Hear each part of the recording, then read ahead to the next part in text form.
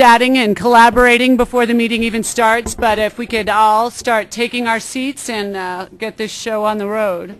Uh, I'm going to call the meeting to order and ask everyone to rise for the Pledge of Allegiance.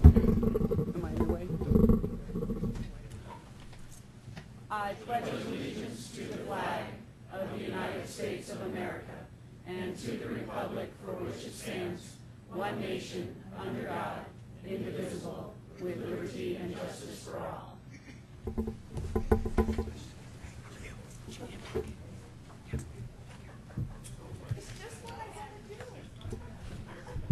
Okay, we're going to start. We're going to start with our roll call, and I stole it from Connie, so she can't find it, which is why she hasn't started already. But um, you're going to hear a lot of new names tonight, people, so pay attention. Eva Henry. Here. Bill Holland. Here. Elise Jones. Here. Dennis Harward. Greg Stokes. Tim Mock. Tom Hayden. Chrissy Fanganello. Anthony Graves. Robin Kniech. Roger Partridge. Gail Watson. Connie McLean. Don Rosier. Present. Bob Fifer. Here. Bob Roth. Jim Peters. David Spellman. Suzanne Jones. Ann Justin. Lynn Baca. Cynthia Martinez. George Teal. Paul Donahue. Kathy Noon. Doris Truhlar. Ron Engels. Catherine Hyder. Laura Chrisman. Gail Christie. Richard Champion. Rick Teeter. Uh, Jim Benson. Debbie Nasta. Joe Baker. Todd Riddle. Laura Keegan. Joe Jefferson. Here. Dan Woog. Mark Gruber. Joyce Thomas. George Heath. Samantha Mearing. Lisa Jones. Laura Brown. Henry Ergott. Lynette Kelsey. Paula Bovo. Doris Rigoni. Saoirse Harris Graves. Ron Rakowski. T.J. Gordon. Here. Mike Hillman. Brad Weasley. Shakti. Jerry Bean. Phil Cernanek. Present. Jackie Millet. Here. Joan Peck. Ashley Stolzman. John O'Brien. Connie Sullivan. Colleen Whitlow. Deborah Jerome. Sean Forey. Chris Larson. Joe Gearlock. Kyle Mullica. Did I pronounce that right? Jordan Sowers. Jo- I'm sorry. John Dyack. Josh Rivero. Gary Howard. Landau De Laguna. Rita Dozel. Here. Val Vigil. Herb Atchison. Here. Joyce J. Here. Gary Sanford. Here. Deborah Perkins Smith. Here. Bill Van Meter. Here. We do have a quorum. Great. So I want to welcome some of the new folks that are joining us at the table for the first time. So um, Jim Peters from Bennett. Jim, will you just wave so everyone can, or stand up so everyone can see who you are? Uh, welcome. Kyle Mullica from Northglenn. Kyle, thanks. Joan Peck from Longmont. Joan, welcome. And TJ Gordon, I know TJ's been here before, but this is first time at the big kids table, right? Okay. Um, we have a couple mayors I'd like to congratulate that are, are um, may, may have been here before, but they weren't here in the capacity as a mayor for their community. So um, Joe Jefferson from Englewood, congratulations, Mayor Jefferson. Suzanne Jones from Boulder.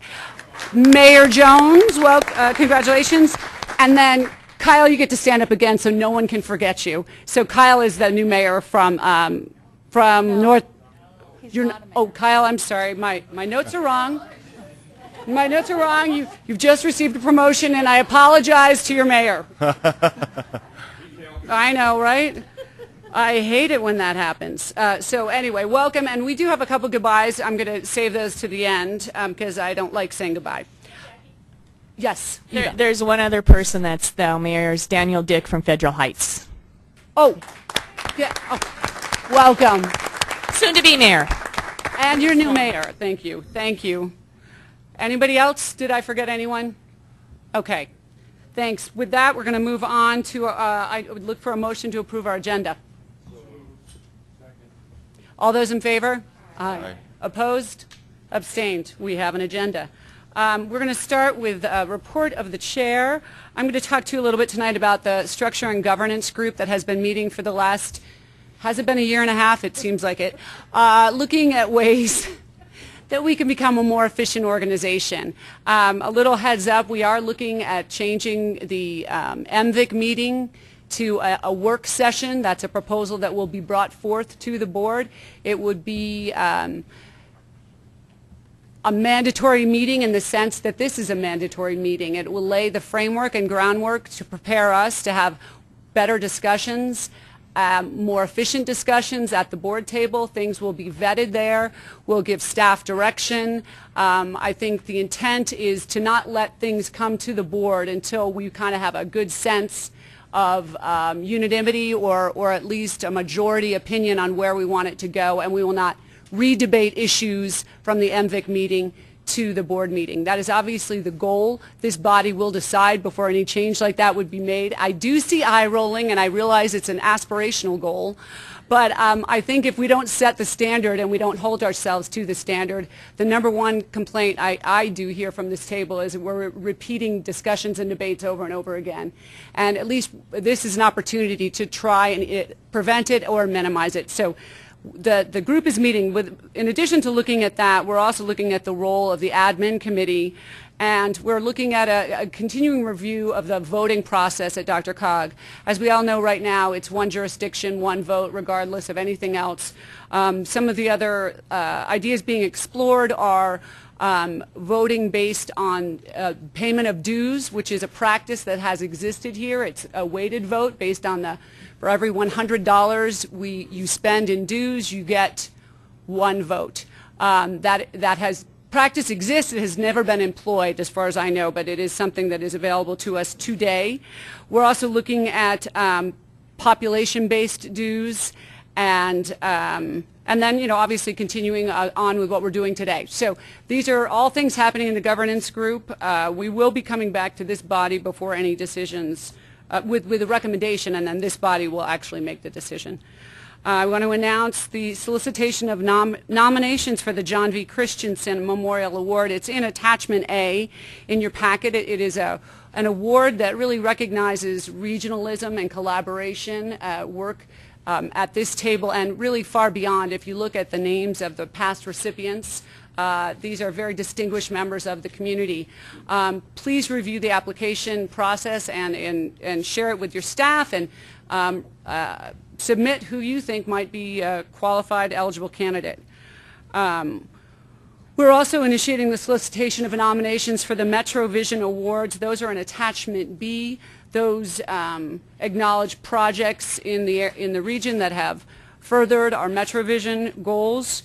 Um, and then the last thing I'm going to comment on is we, are, we will be selecting a nominating committee this evening. Uh, the nominating committee will be responsible for presenting a slate of candidates with the exception of the chair, which I'm happy to say will be Ms. Uh, Elise Jones, County Commissioner Elise Jones. Um, but the other board uh, officer positions will be um, up for uh, the nominating committee to make selections. The nominating committee ideally is comprised of a mix of this body, large and small communities, cities and counties that represent the geography of this region. Uh, earlier this evening in the admin committee, two, uh, two candidates were selected. Ashley Stolzman from Louisville and Robin Kniech from the City and County of Denver are the admin committee's representatives on the, um, on the nominating committee. This body will be selecting two uh, individuals to serve as well. And then once I review those selections, uh, the chair makes the final two appointments, and I will let you know. What I will be trying to do is round out the nominating committee so it is representative of this body.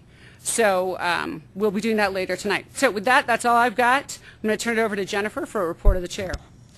Um, well, first I'd like to. Executive Director, I'm the chair. Clarifying that, you're the mayor. Everyone's getting a promotion tonight. uh, I wanted to call your attention to uh, some of the handouts at the table. There are a lot of new folks at the table this evening, um, and there is a new membership list there in front of you. Hopefully, we've reflected all the changes that um, uh, that have happened so far. Uh, If, if you see anything that's incorrect on that list, please let me know and we'll get that taken care of right away. Um, I want to remind you that the December board meeting, this meeting, uh, for December has been changed as far as the time goes. We'll be meeting at 4 p.m. instead of 6:30. That's so that once this meeting has concluded, we can all um, uh, join staff upstairs on the seventh floor. There are nearly 100 employees working for Dr. Cog, and they are all anxious to show you what they do. Um, we had a great open house last year in December. Uh, we played games. Uh, we uh, saw a lot of um, maps and diagrams and charts and tried to make uh, learning about Dr. Cog more fun, but also uh, a social opportunity for the board and, and a networking opportunity as well. So please mark your calendar. The board meeting is on December 16th at 4 p.m. There is no administrative committee meeting prior to that. And at 6, we'll all go upstairs, enjoy some uh, light refreshments, and uh, learn a little bit more about what Dr. Cog does. Um, the another uh, document at your table is this one. Uh, this is a um, kind of a fact-finding mission for Dr. Cog. Uh, we have been contacted by um, um, the Urban Sustainability Accelerator uh, program with Portland State University in Oregon. And each year, uh, the university puts together a cohort of entities around the nation to uh, solve a common problem. Uh, in the spring of 2016, they are going to be looking at transportation in, uh, investment decision making. Uh, they contacted us to see if this was something we would be interested in, and since we just got through a tip cycle, since we are, um, for those who are new, a transportation investment program cycle where we actually selected projects to be funded with Dr. Cog's uh, transportation uh, funding. Uh, and we have a, a number of member jurisdiction staff um, looking at what future boards might want to consider the next time we have to do project selection, it seemed like a good opportunity to at least give this a look. So December 2nd and 3rd, uh, Robert Liberty, who runs this program for uh, the university, will be here to talk with board members, staff, uh, individuals who are on Dr. Cog's technical advisory committee and others about um, how we do transportation decision make uh, finance decision making now, how we can change that, and this will be an opportunity for uh, us to decide if this is something we want to participate in with three or four other MPOs next year.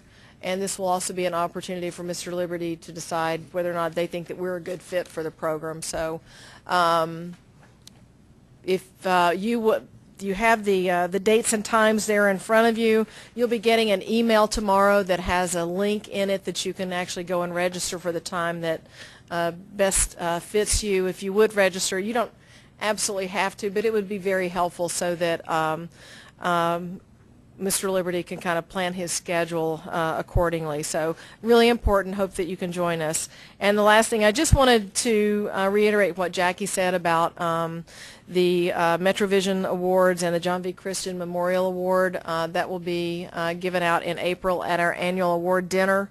Uh, we are really excited because we're going to do this at the new Westin Hotel at DIA. Um, we're talking with uh, RTD to see about maybe some uh, train passes. Uh, we don't know how that's going to go quite yet, but we are talking. Um, but we're very excited uh, to get this venue. We will be one of the first um, uh, groups that get into the hotel for this type of event. So um, this is something you don't want to miss. So again, as Jackie said, look over the um, uh, the award information in your uh, in attachments A and B tonight and think about what your community is doing or people that you know uh, uh that would be um, a good candidate uh, for the John V. Christensen Award. just a couple more things um, not related to any, any documents on your table. Um, let's see. I know that there were a couple of things I wanted to tell you about.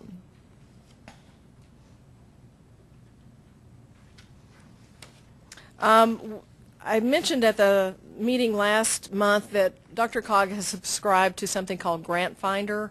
This is um, uh, some software that uh, allows you to go in and, and search through about 4,000 federal, state, corporate, and foundation grants uh, to help you find money to do programs that you may need in your community. Uh, this is a no-cost pro uh, program to Dr. Cog board members.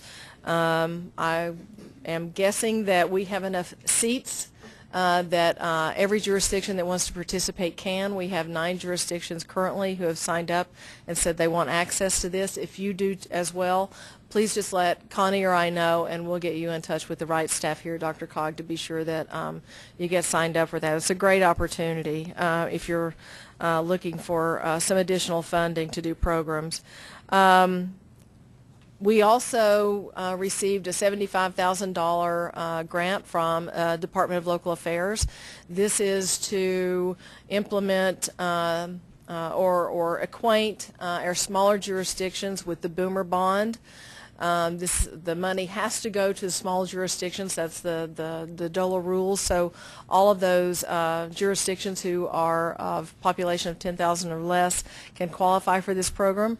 So uh, we'll be getting this underway soon, but this is to to have dedicated staff working with small communities on uh, uh, putting the Boomer Bond in place um, to help um, your uh, the smaller communities become more uh, age friendly.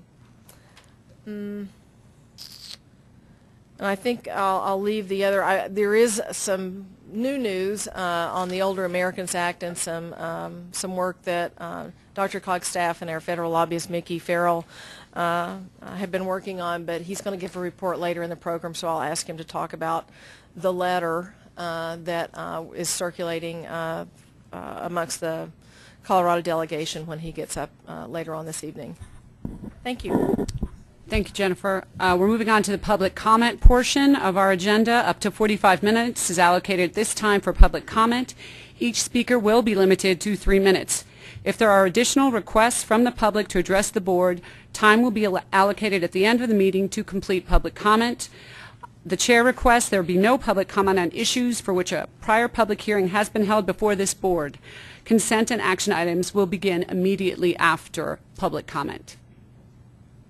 Any takers? Takes me longer to read that than I actually. so, okay, I don't see anyone, so we're going to move on to our consent ag- agenda. I'll look for a motion. All those in favor? Aye. Opposed? Abstained? Okay, moving on to the action agenda. Item number nine, discussion of a resolution approving the 2016 Dr. Cog budget. Jenny Dock will be leading that discussion for the Dr. Cog staff. Good evening. Um, hopefully you've had a chance to uh, check out the link in your board packets, which actually takes you to the budget. And as you may recall, our executive director proposed and the board approved us synchronizing this process, the annual budget with the annual strategic plan, formerly known as the work plan, back in July. So as a result, in August, staff presented a draft of the strategic initiatives plan along with their associated costs. And then in September, uh, staff presented operational objectives, including some different opportunities for innovation. And that happened in September. And tonight we round out this process by presenting to you the comprehensive package, which is the 2016 budget and uh, strategic initiative plan. So I'll draw your attention to a couple of highlights in, in the budget this year. First of all, the budget does include an overall decrease in federal funding by approximately 10%. There is a 26% increase in state funding, and in-kind revenues are remaining flat. UPWP and the AAA remain a bulk of Dr. Cog's funding and associated costs at approximately 62%. And Way to Go rounds out the top three, coming in at about 17% of our overall funding. In addition to the highlights, there is a noteworthy uh, variance in this year's budget that's reflected in the member due uh, line item. And so this year, staff is recommending that we bring dues current. Some of you may recall that during the 2010 budget cycle, the board approved retaining dues at 2009 levels, and that was primarily due to the economic downturn felt throughout the region. And now considering the steady improvement of the region's overall economy, staff has constructed the 2016 budget with membership dues at current assessment and population values. And uh, the Structure and Governance Group did meet on this a couple of times, and they did approve the dues calculation method in October. The um, administrative committee then uh, approved the, the recommendation of the 2016 budget, including the member dues at current population and assessment valuations. So as such, now staff is presenting to you the overall comprehensive package, which is the strategic initiative plan and annual budget for your review and approval this evening. And I'm available for any questions. Are there any questions? Seeing none, uh, Herb, Mayor Atchison. Thank you. Madam Chair, I would move to adopt the resolution approving the Dr. Cog's 2016 budget as presented by staff. Second. All those in favor? Aye. Opposed? Abstained? We have a budget. Okay. Moving on, attach... That's right. Uh, Attachment E in our packets, uh, item number 10, discussion and direction to staff on the Denver Region Mobility and Accessibility Council due diligence. Jennifer. Actually, I'm going to defer to uh, Jacob Riger. Madam Chair, Executive Director, thank you very much. Uh, Jacob Riger, Transportation Planning Coordinator at Dr. Cog. So this is a procedural item requesting authorization to conduct due diligence to explore folding Dr. Mack, which is the Denver Regional Mobility and Access Council, into Dr. Cog. Dr. Cog helped create Dr. Mack back in 2005 and has been a major funder and stakeholder since that time. We work with them in many ways, uh, particularly closely through our Area Agency on Aging and through our MPO of our regional transportation planning activities. Dr. Mack, in one sentence, focuses on information sharing, education, and coordination to improve transportation mobility and options for older adults, individuals with disabilities, those with low incomes, veterans, and others. Though both, though both organizations coordinate closely, there is duplication, both administrative and programmatic.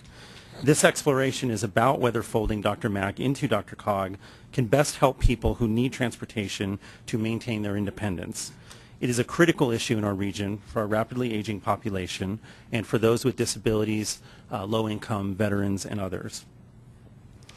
It is a complicated issue. It's difficult, it's expensive, and involves multiple stakeholders, but it's very worthwhile. Reducing duplication, stretching limited dollars, and breaking down silos are absolutely critical to address this issue. Like any union, there are potential administrative cost savings, things like office space and equipment. The potential functional benefit is in working towards more and better service for those who need it by using taxpayer dollars most efficiently, leveraging funding sources, reducing duplication, and other strategies that only a merger would allow. For these reasons and more, the Dr. Mack board recently requested Dr. Cog to explore the merits of folding Dr. Mack into Dr. Cog to see whether bringing both organizations together will help us do more than we can do separately. To be clear, staff is not presuming a particular outcome. Rather, we believe there's merit in conducting formal due diligence to investigate the financial, legal, and organizational feasibility of Dr. Mack folding into Dr. Cog. So to conclude, the motion before you is to proceed with due diligence to explore the possibility of Dr. Mack becoming part of Dr. Cog. We intend to come back to you soon with the results of that due diligence investigation and next steps. And with that, I'd be happy to answer any questions. Uh, Mayor Chrisman. Is Dr. Mack contributing any costs to the um, due diligence uh, process? They are not. Commissioner Partridge. Thank you, Jacob. Jacob, could you be a little bit elaborate on uh, what you mean as due diligence? What would that, what would the, what would the makeup look? Would it be additional staff, additional funds, and uh, what kind of requirements and the advantages? Well, all of those and more. Yeah, absolutely looking at sort of that staff structure, uh, working with our auditors, looking at finances, contracts. Um, I'd maybe defer to Roxy to uh, amplify.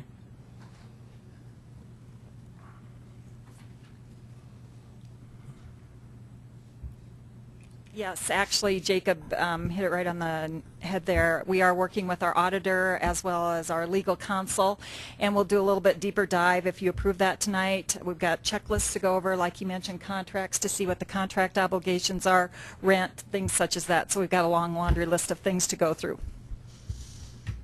I have Councilmember member Shakti and then Mayor Jones. I- I'd just like a general sense of how big an organization is Dr. Mack? So we have Dr. Mack's executive director here tonight, Brian Allam, and I'd ask Brian to come up and, and talk about Dr. Mack.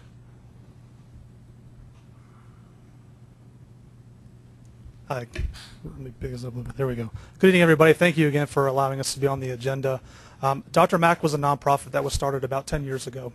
Um, we have two staff, so we're not uh, a large organization. Um, so uh, we don't think that would be a, major issue. Um, the majority of our funding right now comes through uh, pass-through dollars from FTA, um, particularly in the 5310 section, which focuses on uh, older Americans and those that are disabled. Uh, that's typically where we get the majority of our funding. Uh, we've already been contracted with CDOT through the 2017 budget year, so Dr. Mack does have funds to bring to the table in order to help um, with this potential merger in terms of if it, if it was able to occur. Um, it's not like we're coming with nothing in hand. So we do have uh, some some financial grants we've already secured. Um, like I said, we are a small organization. We're two people. Right now, we work under uh, a current fiscal agent, the Colorado Nonprofit Development Center, which serves as basically a nonprofit incubator uh, in the Denver area. So Dr. Mack is essentially a project that gains our 501c3 status through our affiliation with CNDC. Mayor Jones? I just have, a, I think, an easy question. RTD does some of these types of, um, addresses some of these issues. I'm curious, are they a part of this conversation at all, or um, don't they also address mobility issues for this population? They do, and Dr. Mack does host a transit and accessibility task force that is made up of RTD staff um, as well as citizen riders and advocates. Um, so we, we are also partners at the table. Um, Bill Van Meter is pretty familiar with Dr. Mack. Um, we're, I think Dr. Mack, Dr. Cog, and RTD are very strong partners that are doing things together, but we felt that this might be a little bit more beneficial if we could kind of join forces with Dr. Cog's. Go, you can go ahead and say it. You like us better. That's okay. Just curious. I, I will, I'll abstain from that. Ms. Perkins Smith? Uh, Could you um, share with us who's on your board? Board? Sure. Dr. Mack right now has a seven-member voting board and two ex officio seats that do not have voting members. Uh, our voting members are made up of um, organizations from around the Denver metro area. Um, we have Hank Braaksma, who is the transportation director at Seniors Resource Center. Um, Sylvia LaBroucherie, who's a consultant that's worked with CDOT. It's been a strong advocate in the terms of mobility management. Um, Audrey Krebs is with the Colorado Department of Human Services, also serves on our board. Roberto Ray, who represents AARP. Um, let's see, I'm gonna go through. I'm trying to go through the list in my head here. There we go. Thank you. Uh, An- Andrea Wilson is the assistant executive director with CASTA. Uh, Brent Belisle is a citizen advocate who is also a travel trainer that works with VIA Mobility Services out of Boulder. Um, Andrea Suhaka is also a citizen um, member as well, who serves as the chair of Transportation Solutions Arapahoe County, which is the local um, coordinating council for Arapahoe County. Uh, our two ex officio seats uh, belong. One belongs to Dr. Cog, which Matthew Helfant um, is here this evening, and our second ex officio seat belongs to Sharon Terranova, who is a senior transit and rail planner with CDOT. So we feel like we're pretty well connected with the major partners at the table. So if, if I could just make a comment, um, we think there's a lot of expertise in that board, and so going forward, when you look at that, we would hope that we would not lose that expertise, is one thing. And the other thing is, um, CDOT would certainly be interested in being part of any sort of evaluation as one of the founding members, and obviously having an interest. Both noted. Thank you. Any other questions? Yes, Mayor Atchison. Thank you, Jay. we had talked about this a little bit at, at the admin committee. Can you give us, uh, for the whole board, give us a rough idea of the timeline that you're looking at uh, and when this might be started and when it might be finished before you would bring it back to the full board for a recommendation? Sure, maybe I'll start and then, and then ask uh, Executive Director to amplify. Um, Short answer is that we want to do this on a pretty fast-track schedule. We do want to do the due diligence, and we want to, you know, work through that checklist uh, that Roxy mentioned, but we also want to do this in a pretty efficient way and come back, you know, really within the next couple months, uh, probably at the latest, um, we- you know, with some clarity of direction of, you know, where do the facts lead us in due diligence, and what does that tell us about what next steps are? Any other questions? I do have a question. So will the feasibility study then give us kind of a scope of, I know you talked about the legal, staff, and, bu- and budget implications, but will it give us a scope of services that will be provided should the organizations join together? So this body can understand the full breadth of what would be taken on? Right, absolutely. I mean, the big value here is, you know, is there a benefit to the region in combining forces? Can we do the things that we each do separately better together? So obviously a big piece of this, once we get past the, you know, major issues of finances and contracts and those sorts of things is, you know, what is the benefit to the people that we're trying to serve with transportation? What can we do together by merging to make things better for folks? You know, more service, better service, later service, you know, both organizations, for example, um, our area, area agency on aging uh, and Dr. Mack have information assistance centers where folks can call in uh, and get, you know, get direction, get uh, advice of, you know, transportation options and, and other, um, you know, other services. You know, can we look at combining those and actually be more efficient uh, in that work? So all of those things are on the table, absolutely. And I'm assuming then that since you have that information services, it's something that you're currently contracting out if there's only two employees? So there No. You're, do- so it's not 24-hour service then? It's, a It, it is not. Dr. Mack, one, we put out, if you guys have seen, it's called the Getting There Guide. So it's our, our regional resource directory of all the transportation options um, in the in the nine county metro area that, that Dr. Mack serves. That's our, our public outreach piece that we print uh, typically on a yearly basis. And to date, we've given out over 100,000 copies of that across the region. Um, we also operate a transit and assistance call center, which is staffed by one person. So, you know, we, we don't contract anything out in terms of, um, of what we do. Um, and that staff person handles personal one-on-one consultations with uh, transit resources to get people narrowed down to some of those things that uh, will benefit them and not necessarily say, here's a list of 15 resources, good luck in finding one of them. You know, we ask those questions to help pare those things down to really lead them. Um, we also have an option to direct transfer to different organizations around the metro region to give them help directly uh, instead of them making another another call to do that. Um, and one more thing I'd like to add is Dr. Mack um, is underway with a huge project in the metro area, which is a technology piece that will allow transit providers uh, and hopefully human service agencies alike to post and pull trips down through an internet web portal to better facilitate capacity usage across the region. So it's a huge project that we were awarded through a Veterans Transportation and Community Living Initiative grant. Um, it not only has regional significance but national significance, um, and we're very excited to have that project finally underway after I think three years. So this happened prior to me coming on board with Dr. Mack as the executive director, um, but we've been able to really push that through to start that project, and that will benefit probably everybody's community here in this room today. Thank you very much. Sure.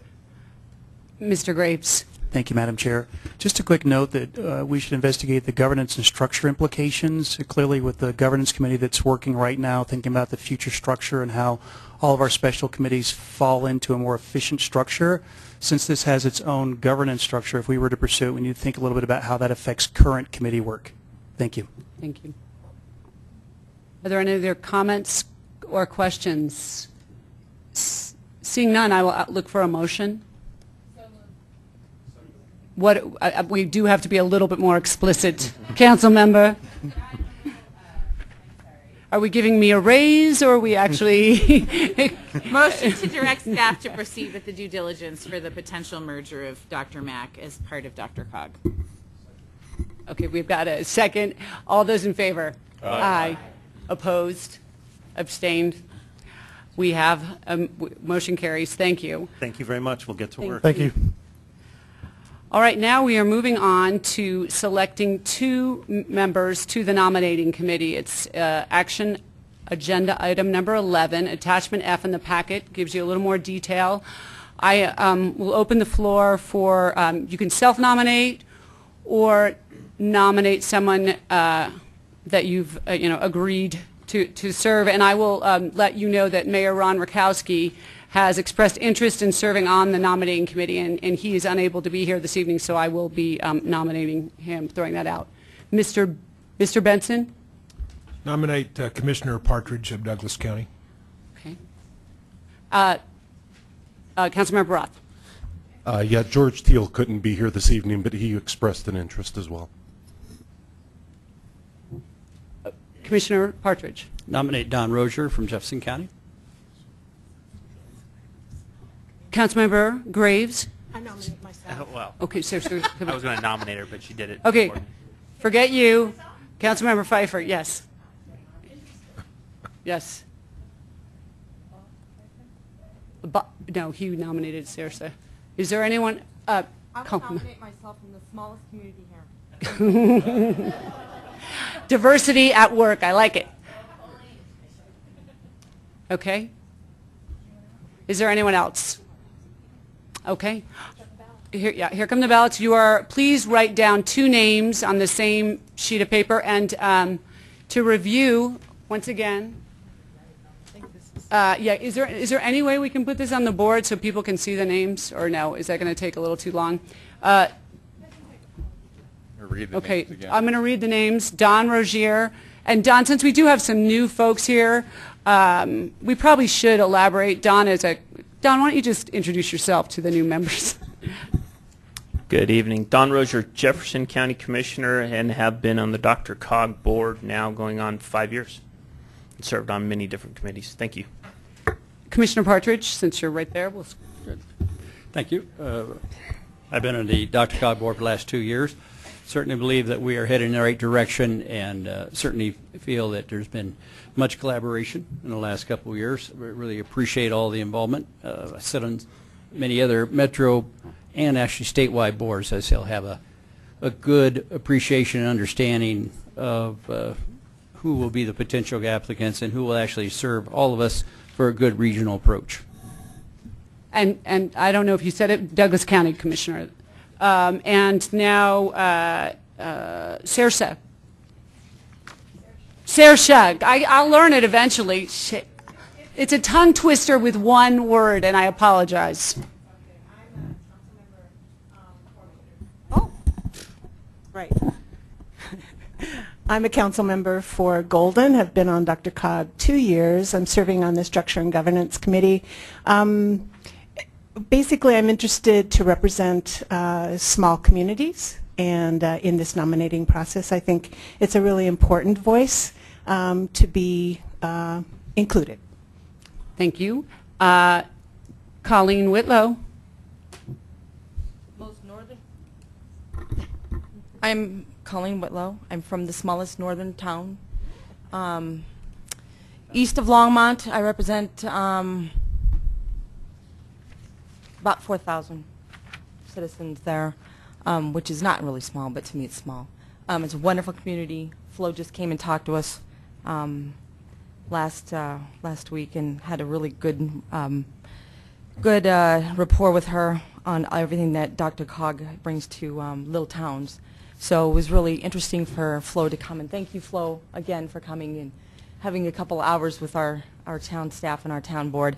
But anyway, I wanted to um, put my name in the hat. Um, I've been on the Dr.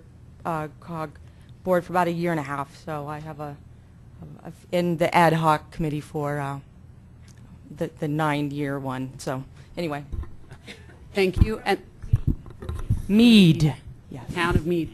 Um, Bob, could you speak for George since he isn't here? I don't know how long he's been on the board, but uh, Councilmember Teal is council member for the town of Castle Rock. Um, and I think he's been on the board about a year, year and a half. And and uh, I'm gonna I'm gonna make Council Member Gordon speak for Mayor Ron Rakowski, um, and and maybe uh, Mayor Chrisman can add some of his Dr. Cog experience because uh, TJ hasn't been around the Dr. Cog group for that long. So My second meeting here. I did speak with the mayor today and he said.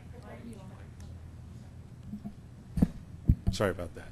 Uh, I did speak with Mayor Rakowski today, and he expressed that he has a strong interest to be on the nominating committee. Um, I do not know his Dr. Cog experience, but he has uh, 45 minutes worth of experience and other things, government-related, volunteer-related. I, I believe many of you know him on this board.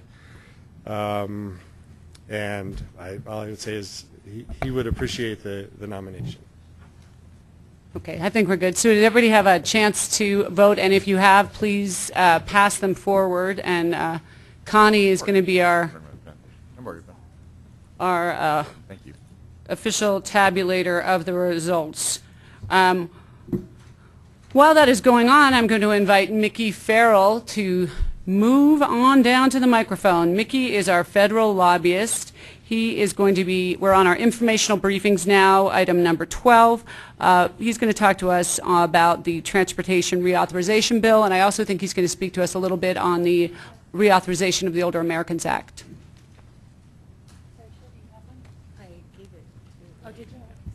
Good evening. Uh, I hope everyone can hear me okay. Uh, normally, when I come up here, I get to talk about things that Congress has not done. Um, so this will be a little bit of a change. We get to talk about things that Congress actually has done and uh, where we sort of are uh, at this present moment in time when it comes to the uh, surface transportation reauthorization bill and then uh, kind of a path forward on that. So I'm going to start out with three different numbers. Um, the first is it has been 15 months, believe it or not, since the last surface transportation bill has expired, and, and we may all remember that. That was MAP 21. That was a two-year uh, surface transportation bill, but believe it or not, it has already been expired for 15 months, and uh, we are on our fourth extension of that as we currently sit. Uh, we are currently on a two-week extension and likely probably going to get another one of those two-week extensions uh, after next week uh, in hopes that they can pass a longer-term bill, and we'll talk about that in, in a minute. This is the more staggering number, and this is the new era of transportation. Um, since MAP 21 has expired, the general fund of the Treasury of the United States government has transferred into the Highway and Transit Trust Funds almost $19 billion, meaning that the gas tax does not even come close to funding transportation anymore. And we are in a new era of transportation because of that, and we'll talk a little bit about that. Um, there are um, significant implications to that, uh, some of which are easily understood and some of which are not so easily understood, but we are definitely in a new era when it comes to uh, transportation funding and likely will be for uh, as we go forward. So um, we'll start with the Senate bill because the Senate was first to act, which is kind of on its head normally. Normally the, the Senate is the slower one uh, to take up bills. But believe it or not, the Senate was the first to act, and they passed uh, a bill called the DRIVE Act back in uh, late July. Uh, and DRIVE stands for, for those who are keeping score at home, um, developing a reliable and innovative vision for the economy. Sometimes you just make it work, right? Uh, so uh, there's some uh, interesting nuances about both the House bill and the Senate bill that we'll talk about. MAP 21 is overall the policy. It was a generational bill, what we've referred to in Congress. It was a generational bill, meaning that it has outlined for the foreseeable future the overall structure of what the transportation programs are going to be. These bills, the House and the Senate, are tweaking that overall kind of generational bill, the, the previous bill, MAP 21. So when we're talking about the context of the changes that, that we're looking for are really kind of under that umbrella bill, which was um, MAP 21. There were some interesting things that in particular were, are, um, have, a, have a meaning for uh, Colorado that were um, sort of changes in, in uh, MAP 21 that Colorado, from a Colorado perspective, we wanted to see changed. Um, but before I get into some of those specifics, I'm going to talk about the funding framework for the Senate bill, and then we'll compare it with the House bill in a second. Um, traditionally, each year there's an inflationary additional amount that goes into transportation. The House bill did not carry that, but the Senate bill did. So really roughly what we're talking about overall on the highway side is about $540 million a year that would come back to Colorado. And by the end of that, in fiscal year 2021, in the Senate side, we'd have about $624 million. That's a 3% inflationary index in the life of the Senate bill, which is a pretty significant step forward. Uh, roughly about $100 million more a year by 2021 than we are currently right now today. That's you know, a, a pretty significant step forward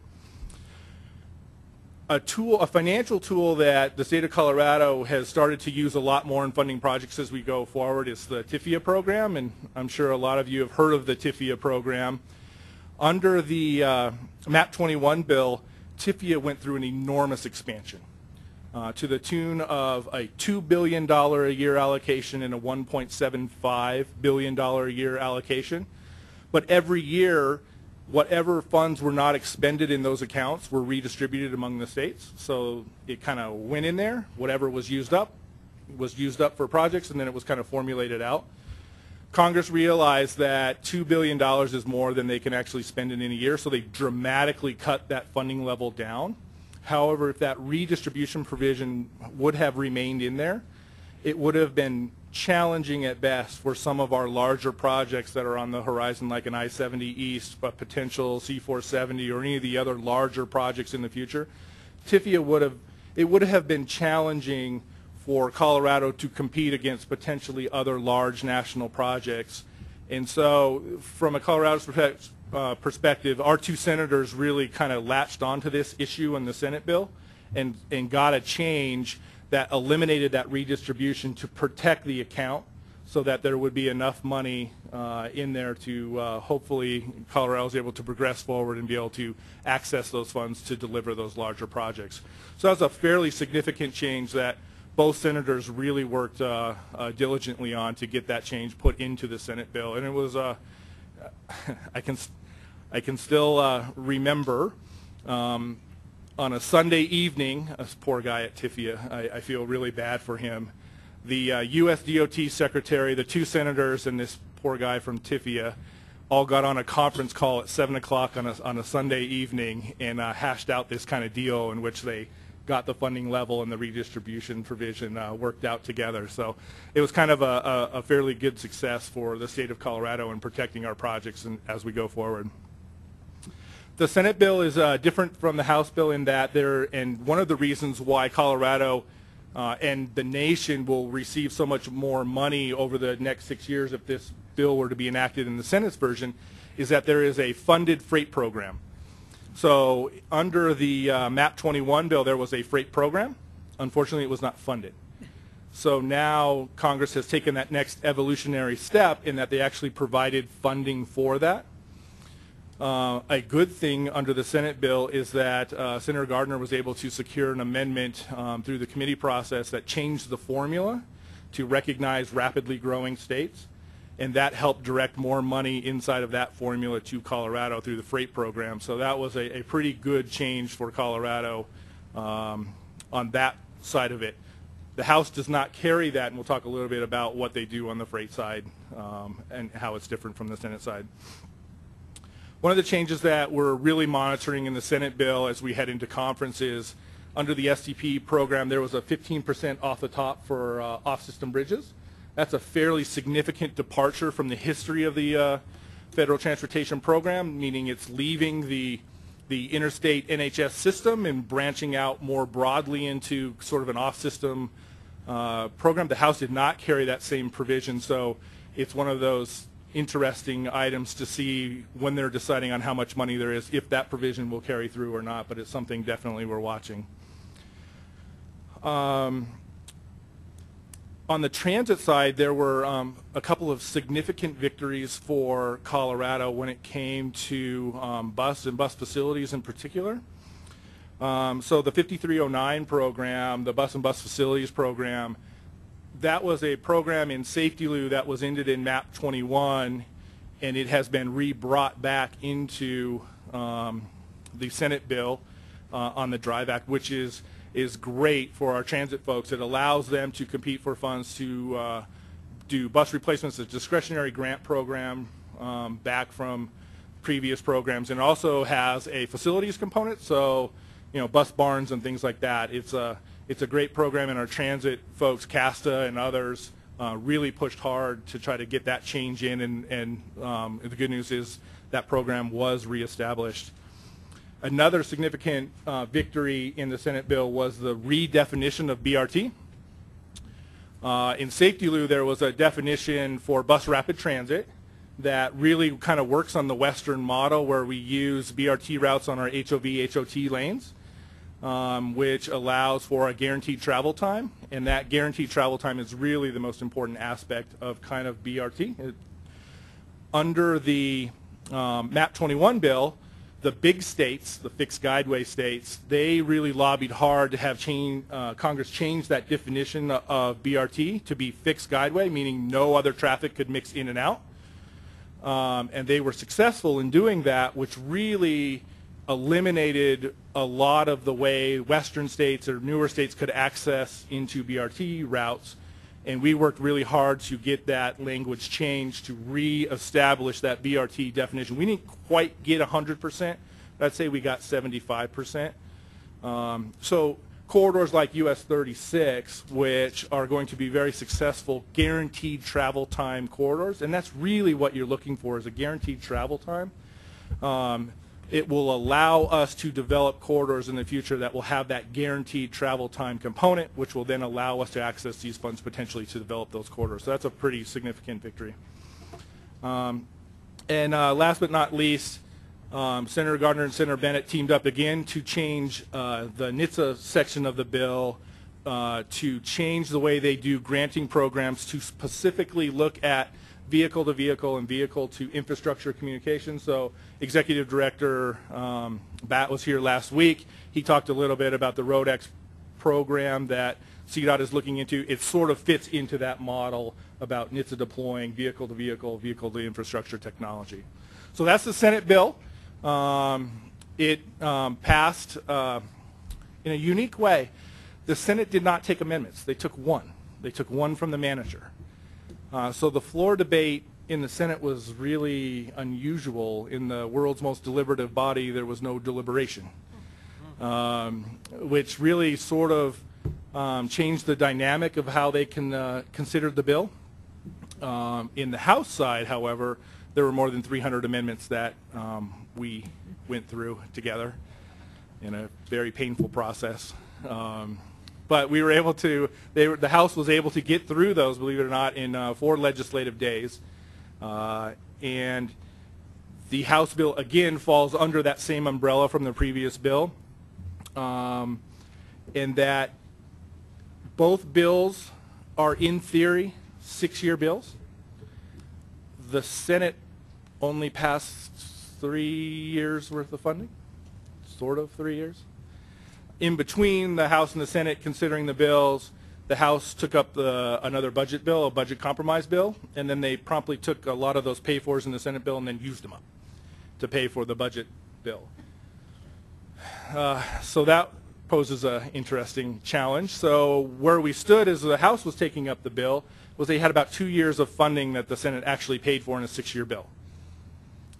Um, the House recognized that, and when they brought up their bill, they had, of those 300 amendments, about half of them were transportation related, what we'd call highway and transit related. The other half were on everything but transportation. Um, it was on the Import-Export Bank. It was on pay-fors for the bill. It was on a bunch of different items. So what the House did instead of the Senate is that the House said we can't pay for that increased funding every year, so we're just going to keep it pretty much flat. So instead of starting out at $540 million like the Senate bill did and ramping up to 624 million, they took it down a step. They start at 524 and they end at 580. It's still progressing, just at a much slower rate, um, which changed the way they could look at pay-fors and, and how much would be needed over, over that time. Um, they were able to um, change the TIFIA provision to be more like the Senate's version. Instead of 300 million, they got to 200 million, but the compromise was that they eliminated the redistribution provision. So again, it's kind of a win for Colorado. We're playing in that ballpark of 300 to 200 million, no redistribution. We think that's going to be good enough, hopefully at the Senate level, to protect Colorado projects. Um, the House bill did not have a freight program, and it did not obviously fund it. What they did is they created more of a competitive grant program that would be related to freight. We will see, it's an idea, right? And the conference will ultimately resolve that to see if that's the way they go forward or if they go forward with the Senate provision. But that's going to come down to ultimately money, and we'll talk about that in, in one second. Um, Representative Polis got the only Colorado amendment on the floor uh, on the House bill, and that was to designate I-70 as a high priority corridor. Uh, so there are certain roads in the United States that are designated as high priority. In Colorado, that's kind of I-25, it's I-76, it's the Ports to Plains corridor, which is 285, and then kind of comes in on I-70 this kind of connected the eastern side of the United States, believe it or not, to the western side. There was only one east-west road that connected the, the Midwest and East Coast to the West Coast. So if this provision were to be adopted, it would provide a secondary high priority corridor. All it really means is that if there are granting programs, it's a consideration for grants. It used to be that they would fund high priority corridors. They don't. They haven't done that in a long time. But it is a, a place where if there's a TIGER, it's a consideration for potentially a grant. Um, and then on the House side, we're able to do similar things to the Senate side when it came to transit. So the 5309 program was fixed, but in a different way that the big states aren't really going to like. And unfortunately, when you look at the conferee list, yikes, it's going to be tough to keep. Um, but basically what they did is they took the big seven states and they took the money away from them. So like New York's and some other places they took money out of their formulas and put it back into the 5309. So we'll, we will see if that survives. Um, and then we're able to continue the BRT definition more similarly to the, the Senate side in the House. So that was a, a good step forward. Where we currently are right now is that both the House and the Senate have passed their bills, and we're in what's known as a conference committee. Uh, so meaning that they are trying to resolve the differences, and today was the very first day of the conference committee. And the good news is nobody killed the bill on the first day. Uh, so we still have a shot. Um, the behind the scenes, this is going to be hard. Um, the funding gap is big, um, but everybody's saying the right thing to get um, a bill, and so that's progress you just start looking at the calendar. December 15th is the last day they're going to be there. And next week they're out for Thanksgiving. Uh, just look at the calendar and there's not a lot of room. Um, but at least today we have a shot. And that's the hope, is that we're, we're going to have a shot. Um, the budget numbers, uh, when I saw the CBO score last night that came out on the House bill, uh, I did a double take the, the numbers are staggering of how much general fund money has to go in on a per year basis now. 50% of the transit program will now require general fund money. And highway folks, it's no better. It's almost 40%. It's a, it's a third and it'll ramp up to 40%. So on a per year basis, we're all going to learn a new term as we go forward and it's called subject to appropriations. So every year the appropriations committee has to pass that funding into the into the transportation programs, meaning that the budget bill now comes in in, a more prominent way. The appropriations bills will now come in in a more prominent way. Uh, it's no longer a guarantee that when you have a, a dedicated revenue source and it goes into a trust fund, the appropriators and the budget committee could not touch it. But that, that era no longer exists. And so as we go forward, subject to appropriations is going to be a, a, term you're going to hear a lot about and what and the instability that will go along with it as we go forward.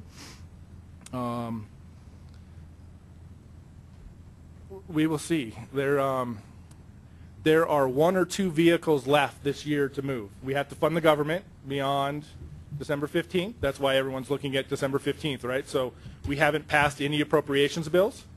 So that is a place in which a transportation bill could hook onto and go forward and get passed. Um, Or, believe it or not, this is the second, really, of the two bills that are, people are talking about as a bill that sort of, uh, look, I've done a good job of filibustering my time already, um, of, uh, of a way for a bill to go forward. There's some contentious issues out there, and we don't need to rehash them, but we are hoping that this bill won't get caught up in some of those contentious issues and, and bring it down. Uh, so we will be doing a lot of work over the next few weeks to see if we can't get this bill out of a conference committee and then passed by both houses. So I guess my time is up. You're cut up. But, but we do have time for questions. Commissioner Holland. There was talk early on, and I don't know what, what happened to it, that, that there was going to be an effort to seek re, um, uh, um, reconciliation of some of the overseas tax funds being used as a, as a uh, incentive to, uh, to at least give a kickstart to those existing and pending programs. Can you comment on that? So it was the leading source of additional revenue for a very long period of time. Um, in fact, it, believe it or not, it's still out there. Um, Speaker Ryan said yesterday he would like to still pass that, and he is looking at the transportation bill as a potential way of doing that. This point, it would be problematic for transportation probably because it brings in more revenue than could be spent by transportation, and then other fights start to take place, other programs. What are you going to fund? Are you going to fund tax cuts? Are you going to, what are you going to do? So it is still out there. Um, Speaker Ryan was the tax committee chairman, so he is going to hold a lot of power in what bills go for the remaining portion of the year. But it is definitely still one of those issues that are still out there being talked about. Um, Senator Bennet really was pushing this for a while on the Senate side.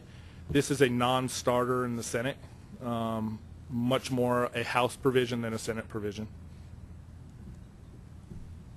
Commissioner Partridge. Mickey, that was great. And in fact, I was uh, considering until the chair held up the one minute to have you s- repeat that, but anyway. The chair did not hold up the one minute. The record shall note. The mayor did? No, yeah, I gave myself a promotion too. No, no, no, no. Mickey, just a real quick question on the Winter Conference Committee, when it comes to all the amendments, do they take each bill as an individual bill, or do they have to go through all the amendments for each bill? So the, the normal answer would be yes, but the House did something very interesting. the House, so the bill is actually an old bill that the Senate amended and passed back to the House, and this is going to get way inside D.C. But the House didn't actually pass the Senate bill. They passed an amendment to a bill of their original bill and then sent it to committee. They didn't actually pass the, it's just weird insight. So they have a, a, a lot of different paths in the conference committee to be able to take different angles that they normally wouldn't be able to do. They would be normally very restrictive in what the conference committee could actually look at. They sort of broadened the door a little bit because they had so many other issues attached to the transportation bill that they needed to broaden the bill out a little bit, the conference committee's scope out a little bit. I'm sorry, that's, it's a good question. It's just a really complex question. Councilmember Benson. Yes, thank you. Thank you for your presentation. Um, I'm glad to hear that more money is going to be available for transportation, but, and you said that 60% of that money is coming from the general fund. Is there any movement to um, go with road usage charges or MBUF or uh, VMT, anything like that where transportation funding is directly related to the people who are using the roads, like it has been with the gas tax? Right. Um, the gas tax still has a veto from the president, a formal veto. Um, the mileage-based user fee, um, the Senate bill carries a multi-state pilot program, um, which we have, from the Colorado perspective, have been advocating for. Because until you can start to deploy that on a regional basis, multi-state, to figure out who's going to collect the tax, how they're going to collect the tax, how they're going to distribute it among the states. Washington, Oregon have been mm, kind of going back and forth with this a little bit because of the cross traffic, that kind of stuff. Yeah, Oregon's got a pilot program. right Yeah. now, Right. Actually, I might address, I'm actually working on a committee that's looking at that in terms of western states, so that we're ready if it, Yeah, if it does we, go through. we feel like we need to get a pilot program put into place to demonstrate out the technology so that it could be a new path forward as a revenue source potentially um, to help fund transportation, to get the user fee back into it instead of a general fund program. How long do you think that's going to take? I, th- it's at least one six-year bill, if not two. There are, I think the technology side's easier. It's the political. It's the political side, it's the privacy concerns, it's the extraneous issues that are going to take longer for representatives and senators to overcome, to feel comfortable enough to say that they could pass that as a revenue source. Okay, well, thank you. Uh, Mr. Snanick. Uh, Mickey, again, thanks. Uh, With this subject to appropriation. Yes. um, Is this going to be a continuation of uncertainty so that uh, any dollars that come uh, have a discount because of length of time that they can actually be committed? Um, why, why in particularly, uh, kind of. Um, I- one- I I appreciate that definitive response. One of the unique things that transportation has is multi-year contract authority, and general fund revenues put at stake that multi-year contract authority. So one of the reasons why we care so much is because things like rescissions or let's say sequesters or other items that come along in theory can backcut contract authority and it becomes much more complex when you have that multi-year. So the, believe it or not, the Department of Defense does not have multi-year contract authority. So when they contract for an aircraft carrier, they pay, oops, sorry, they pay for the entire aircraft carrier in one shot. We don't do that. We are a reimbursement program. So that ex- those extraneous issues when it comes to the budget are much more difficult to deal with when you have a multi-year contract authority bill like transportation. So in other words, uh, it sounds like subject to appropriation means that whatever dollars they're putting out are subject to uncertainty discount. and that's on a year-to-year basis. And that, yeah, and, and again, inside DC stuff, but you can pull back money from previous years. So, subject to appropriations is a is a bad place to be. How do we get that changed? I'm That's- sure we're working on it. It's why they created trust funds. Are there any additional questions? Comments? Thanks, Mickey. It's clear as mud.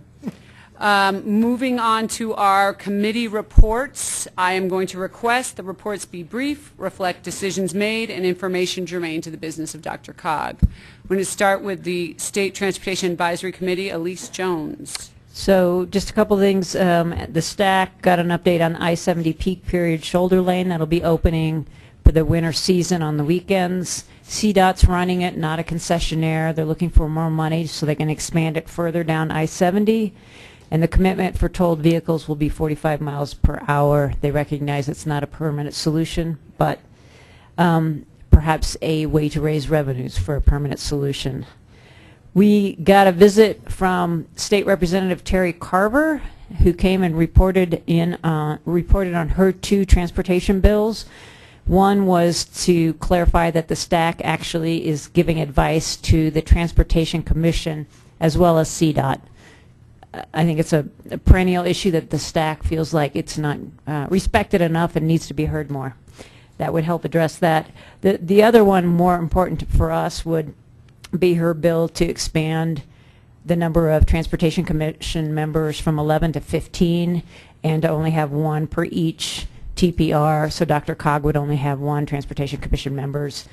That's not a bill that we've taken a stance on, but historically, we would have a problem with that based on our legislative policy. We certainly, we currently have four Transportation Commember- Commission members representing our region. She at least recognized that the bill was a non-starter for Dr. Cog and that it needed to be amended to reflect VMT and population. And she alluded that she recognized it might become a study bill. So, and I certainly encouraged her to continue thinking in that direction.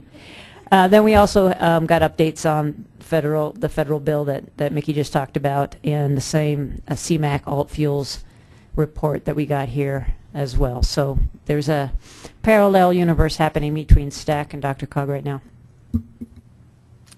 Thank you. Elise, uh, Herb, Metro Mayor's Caucus. Yeah, I'm filling in on this for Cathy Noon, who's out of town. Uh, The information that Cathy sent me is that uh, the Metro Mayor's Caucus Home for the Holidays campaign uh, for the holiday letter to landlords, which will be distributed by Brothers Redevelopment and area housing authorities in support of our Landlords Opening Doors campaign, offering funds to help increase the availability of units for the homeless. Uh, This is a piece that uh, the Metro Mayor's was doing a fundraising for uh, earlier this year. Note that there are a number of new mayors due to the elections. Uh, I think the number was somewhere around seven or nine uh, in the metro area. Uh, Planning for the Metro Mayor's annual retreat is set for uh, January the 9th, and the legislative reception, I believe that's still a partnership between CCI and Metro Mayors. That is scheduled for December the 9th, and that is here at the, Damn. yeah, the dam. Thank you, Herb. Okay. Don, Metro Area County Commissioners. Uh, Thank you, Madam Chair. Um, I'll tell you what the agenda was, but I'm going to have to defer to somebody who was actually in the meeting.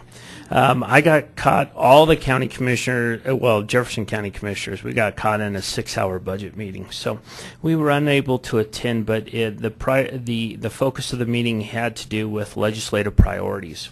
And at that meeting, the Colorado County Clerks Association was in attendance, the Coroners Association, Treasurer, Sheriff's Association, assessors, public trustees, and the Metro Mayor's Caucus. Anybody else would like to add to that?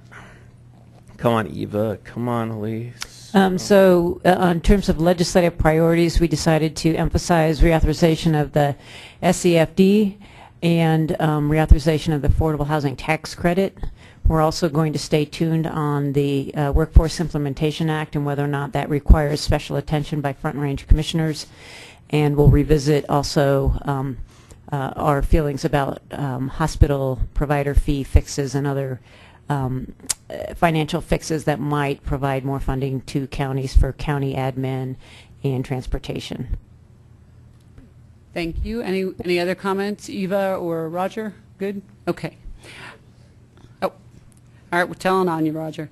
All right, uh, Advisory Committee on Aging, Jayla.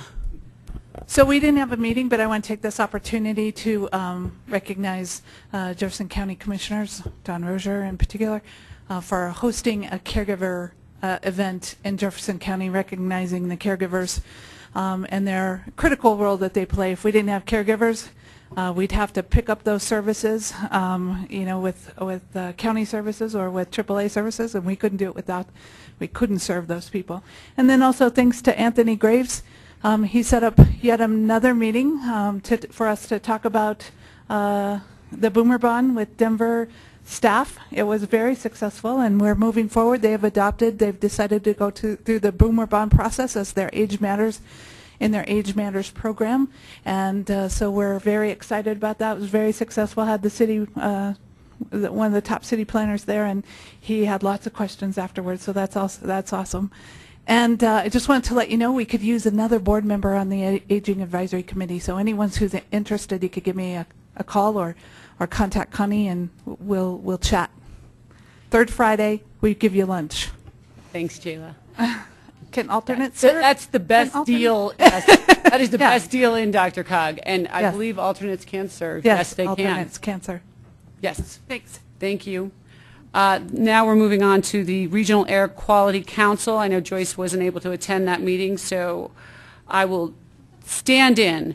Um, First of all, I I actually think, as you guys know, this ozone issue is extremely important to the Denver region, and I would actually encourage you all to go on the RAC website and pull down the um, meeting materials from these meetings because they're extremely informative, and I think the more informed we are on this issue, the better decisions we will all be making. So there was an overview of the implementation of the Colorado's Clean Power Plan. Uh, We talked about the implications and implementation timeline for the EPA's new 70 parts per billion ozone standard. Uh, There was an emissions inventory and reasonable further progress plan for the 2008 ozone standard implementa- state implementation plan, because as we all know, we're in the process of being in non-attainment for the 2008 standard, so we've got to develop a state implementation plan to try and meet that standard. In the meantime, keeping in mind that we've got a further lowering of the standard that was just adopted um, this October. So um, again, the RAC website's very easily accessible. Please go on and it'll give you even more details. And I'll- ask our executive director, who was also at the meeting, if there's anything else you want to add to that. And, and uh, Commissioner Jones, who evidently attends every single meeting uh, that Dr. Cog has. Everywhere. Um, Okay, we, uh, Mayor Rakowski is not here for E470, but I am told that Councilmember Gordon has a good authority, knows what, what happened. Um, Yes, Mayor Rakowski just wanted me to share with everyone here that the E470 Authority will be uh, appointing a new director in December. And that was all the information you had. Thank you. Um, Mr. Van Meter, a report on FasTracks? Last night, the RTD Board approved two consultant services contracts in support of FasTracks for the 2016 calendar and fiscal year for RTD. They also took the significant action of naming the 61st and Pena Station on the University of Colorado A line. It's named the 61st at ampersand Pena station name. So I know everyone was waiting for that and I'm very excited for that determination. Board acted on that last night. Um, the day after we met last month, RTD did announce the opening date for the CU or University of Colorado A line between Denver Union Station and DIA. I assume most folks, in, if not everyone in here, has heard. But since I didn't report on it last month, I figured I better get that on record. April 22nd is the opening date for the CU A line. And in advance of that, January 3rd is the opening date for the Flatiron Flyer, the US 36 bus rapid transit service. So January 3rd, Flatiron Flyer, US 36 BRT, and April 22nd, University of Colorado A line. That concludes my report. Thank you. Um, I know you're all waiting with bated breath about the nominating committee. Uh, To remind everyone, uh, Ashley Stolzman, Robin Kniech from the admin committee, and once again, I am going to go with the established precedent here as the chair of going with the top four vote getters. Um, uh, We've got good geographic coverage. Um, uh, We have good county, city coverage. We do not have great um, medium community representation on this. I will let you know I have a concern about that, but looking at the list, there was nobody on the list who threw their name in the hat that really is from the medium-sized community. So the top four get vote getters in no particular order are Commissioner Roger Partridge, Mayor Ron Rakowski, Councilmember Colleen Whitlow, and uh, Councilmember Saoirse Graves. So uh, that that is your nominating committee. Thank you all for agreeing to serve. I am going to ask and remind, excuse me, anyone who is interested in serving on the admin committee to get their nomination, a statement of interest, excuse me, into Connie by Friday. If you're interested in serving as an executive officer, you need to get your statement of interest uh, form into Connie as well by Friday. Uh, Any questions? Uh, Yes, Not a Councilmember question. Roth. Other matters? Uh, we, we're almost there. Thank you. Uh, we, I'm just going to make a note, your informational items, uh, 14, 15, and 16 are attachments H, I, and J in the packet. Um, I think I know what, uh, Bob, Bob, please, you go, you, you go first, and then I actually have some other, other ma- matters by members, so we're, I'm going to have Bob, and then I'll have Anthony, and then, um, go, go ahead, Bob. I just wanted to take the opportunity to recognize one of our own. Uh, Denver Business Journal this week, yesterday, uh, named the top 25 most powerful women as named by Colorado Women's Chamber of Commerce. And Councilmember Robin Kniech was one of those 25. Yay.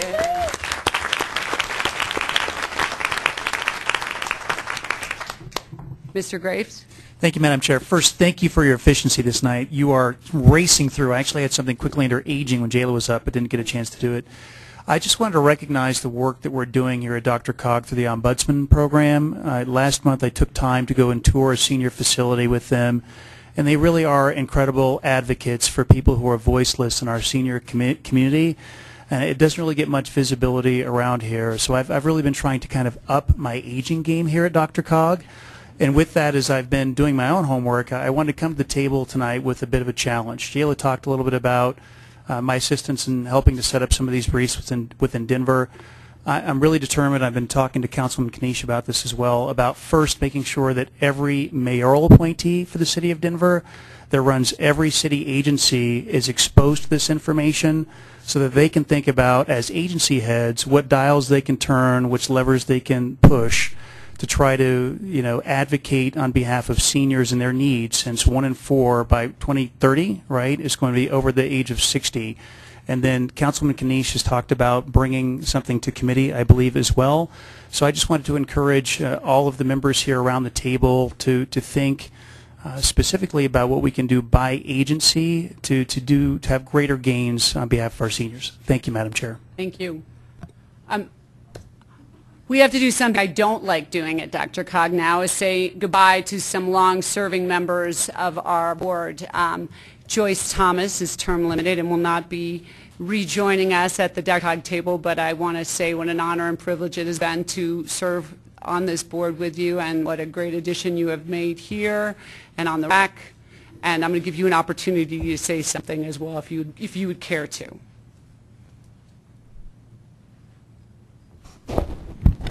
It's hard to realize that eight years is up already. And everybody asks me, what are you going to do now? What are you going to do now? You going to run for commissioner? You going to serve on the state senate? I go, you know, I just want a break right now. I keep get asking to do things to, to fill my time, and I go, you know, let's just wait. Talk to me in May or June. I, do our also serve on the Pinnacle Charter School Board. Um, have been on that for about two and a half years and have an opportunity to be reappointed in June for another three-year term. Um, I'm doing more, trying to do more with my church.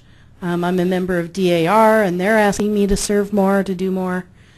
So um, I have plenty of opportunities to stay busy. I, and I am a CPA, and I uh, tax season's coming. yeah. How, how did you even fit us in? No. Again, I- they will have the honor and privilege of serving with you, so I think, uh, you know, our loss will be their gain. So thank you for that. And let's give her a round of applause.